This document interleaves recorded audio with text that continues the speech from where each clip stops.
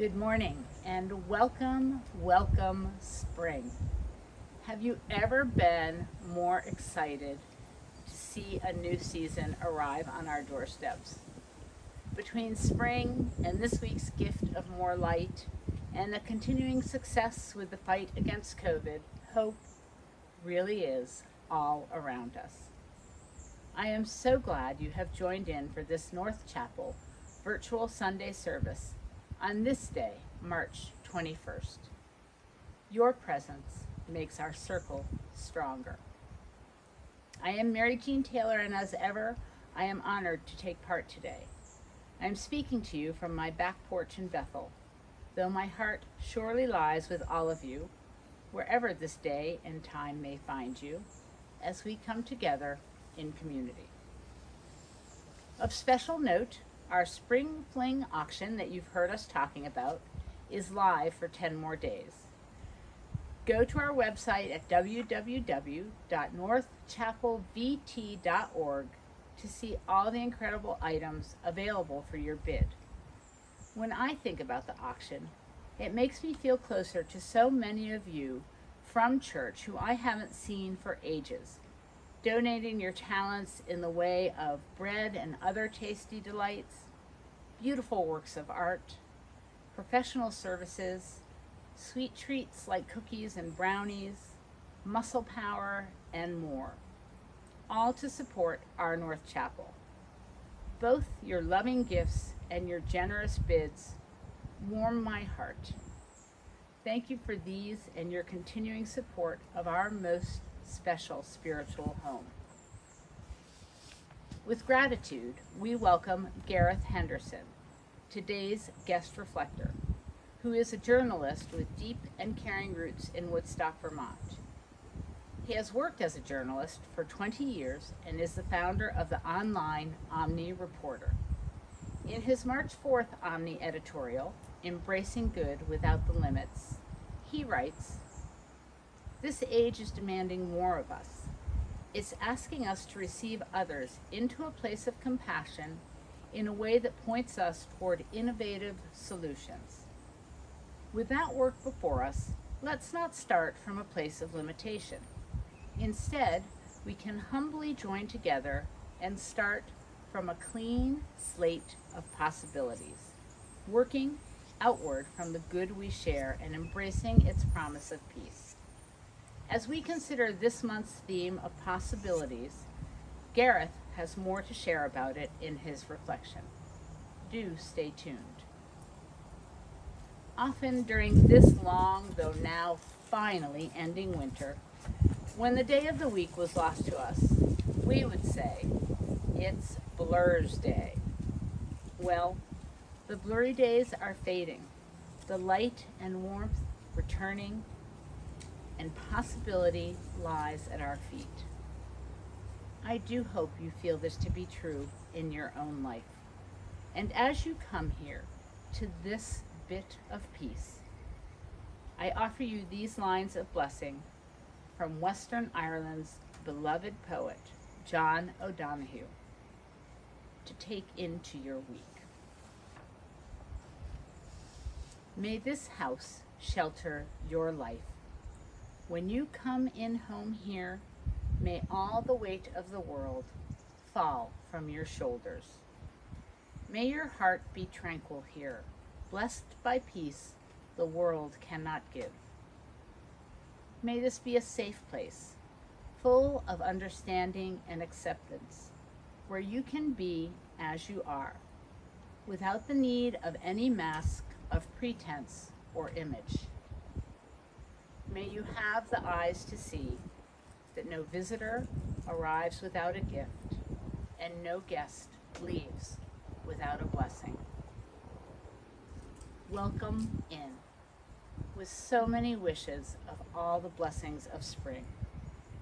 Let's bring our voices to this day, shall we? Tis a gift to be simple, is our opening hymn.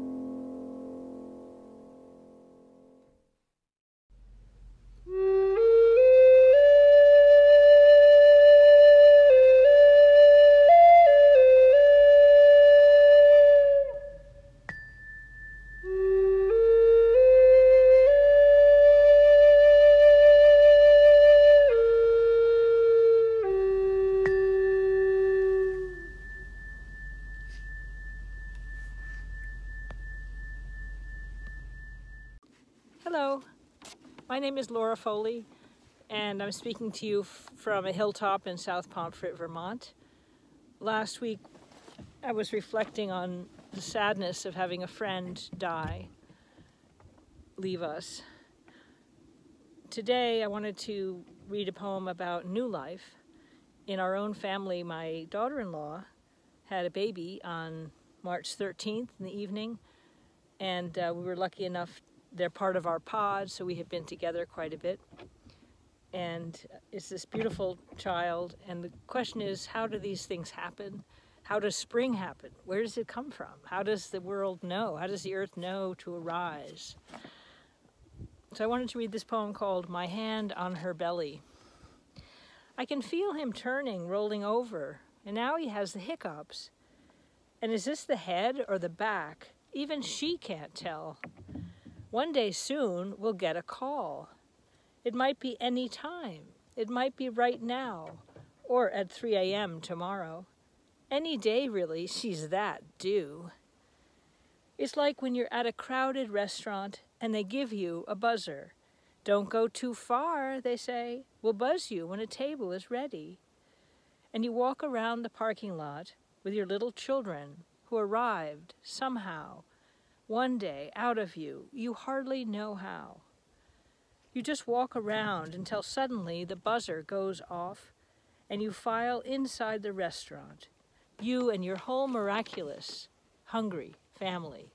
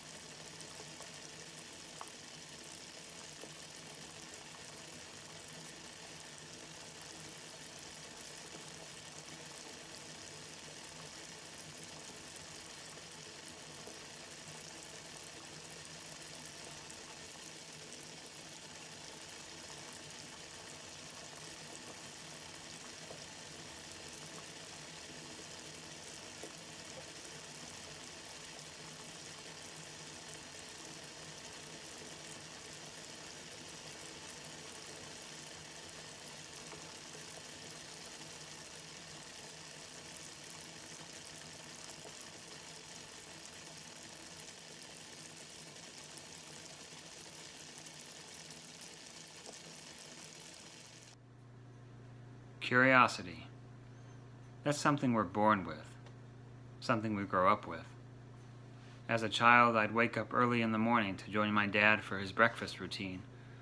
On top of the fridge was a little red radio. offering up the news of the day with that classic NPR music. We'd have our conversations, of course, but there was always that time where we would just sit and listen to the news together. My dad was getting ready for another day in the newsroom. I wasn't. But we were both curious. That was a pathway to understanding the world more fully. Curiosity leads us straight to the question what's right here in front of us, and what does it mean? The answer is all about possibilities, present possibilities, not ones that are far off or perhaps unreachable, but present ones. Frankly, as you look at the past year, and so many others, we have practical examples of how good we can be to one another. We've lifted each other up in life changing ways with powerful examples of kindness and compassion. You might say those qualities arrived to protect us from fear and from lingering doubts about one another. That's really the lasting promise of goodness. If you help someone or work with them constructively, you'll see each other differently. That inherent goodness, revealed through the kindness and nurturing we all need, serves to unite us. So you might call it a natural layer of protection that we have, which helps dissolve and resolve adversity.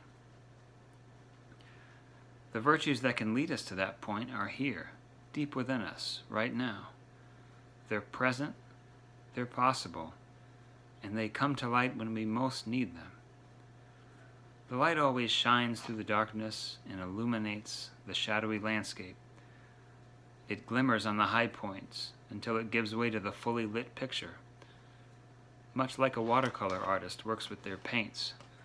The secret is not putting too much paint on, but rather letting the light shine through the picture. Forcing that effect, on the other hand, will often lead to the opposite of what we want. It can muddy the picture we're trying to create. If we let the already existing good shine through our minds and into our lives, that can lead to actual tangible possibilities we can embrace, especially in situations when impossibility seems like the rule. But we know so much looks impossible. I remember how everything looked mid March last year the bleakness, the fear, feeling trapped, lost. I think part of that is we needed each other so much and so immediately, and yet in so many ways we couldn't connect. But gradually we did. The world was learning about its collective heart and how to use it we discovered how connected we really are. And that transcended the limits and labels we've so often put on one another. We got a glimpse of the fact that we aren't separate. We are one, and we need that one. We need it manifested in our lives. Now the question is how do we use what we've learned about that collective heart? We get curious. We question the long-standing limits and welcome possible solutions to resolving and overcoming them. One example, one limit I've often heard of in the past year, is that we could never possibly be unified. Well, when it comes to ready support and ceaseless efforts to help each other, we've proven that's already who we are. That's what keeps our heart beating as a community, a state, a nation and even a global community. And not just for a season, not just for a crisis. The strength and permanence of that good, of those possibilities, has only to be harnessed. As the poet Rumi said, there is a candle in your heart, ready to be kindled. There's a void in your soul, ready to be filled. You feel it, don't you? So perhaps we have to take that which seemed impossible, turn it around in our thinking, before we see possibility manifested. Present possibilities start out in thought, and we must work to bring them out into the light and establish them in our experience for the good of everyone.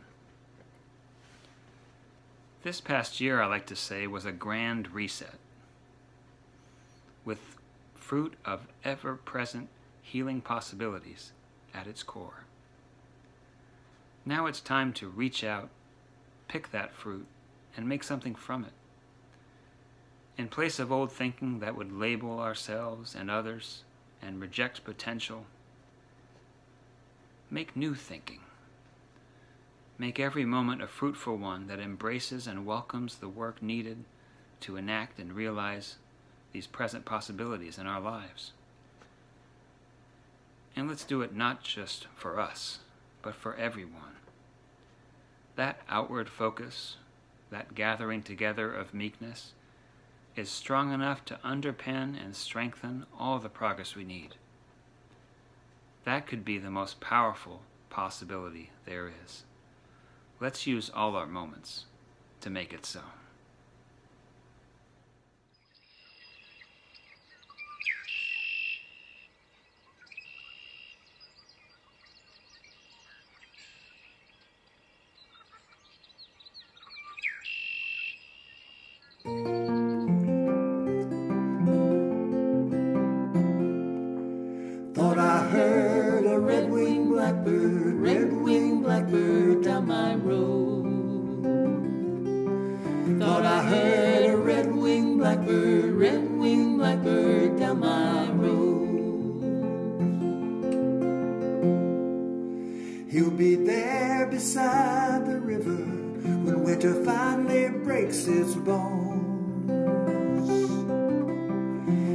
King among the rushes. He'll be master of his home. Thought I heard a red-winged blackbird, red-winged blackbird down my road. Thought I heard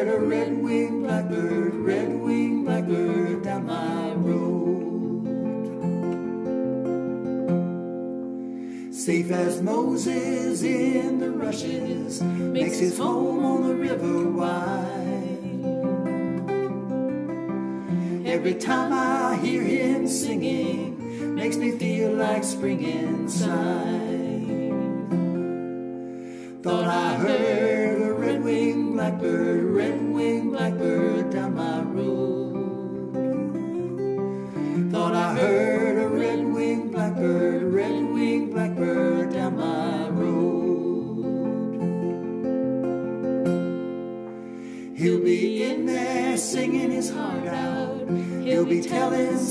Stories